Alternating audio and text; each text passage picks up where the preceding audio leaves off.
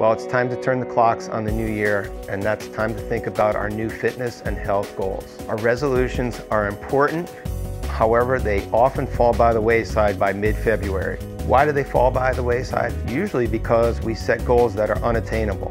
We don't set clear and concise goals. So I'm going to give you three tips. Set clear and concise goals. Make sure they're attainable. Don't say something like, I'm going to lose weight this year. Say something more specific. Say, I'm going to lose 15 pounds by mid-March.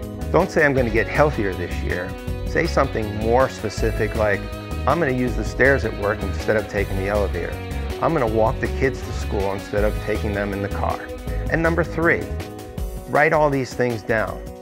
Make sure the goals that you have set forth are matched by the times that you want them set. Be sure to check out our website and follow us on Instagram and Facebook. And please have a healthy and safe new year.